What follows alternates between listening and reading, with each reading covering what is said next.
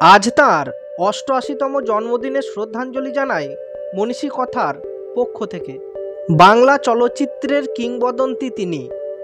এই উপমহাদেশে যে কয়েকজন অভিনেতা মেধায় ও সাবলীলতায় অভিনয়কে নিয়ে গেছেন, অনন্য উচ্চতায় তাদের মধ্যে অন্যতম একজন চিরতরুণ নায়ক সৌমিত্র চট্টোপাধ্যায়।